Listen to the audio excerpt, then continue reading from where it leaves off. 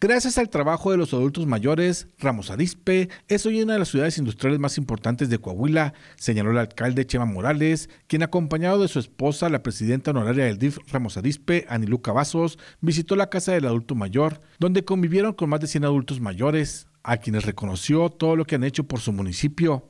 Vamos a estar muy al pendiente de ustedes, que ese es un compromiso vamos a estar al pendiente de nuestros adultos mayores de Ramos Arispe, porque yo sé que en ustedes se concentra la experiencia, en ustedes se concentra siempre un buen consejo, en ustedes y gracias a ustedes Ramos Arispe es el municipio tan importante que es ahorita.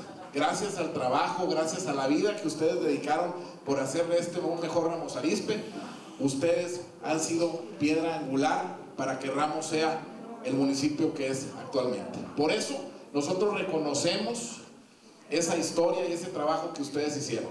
Morales Padilla se comprometió a que durante su administración este importante sector de la sociedad recibirá todo el respaldo para mejorar sus condiciones de vida.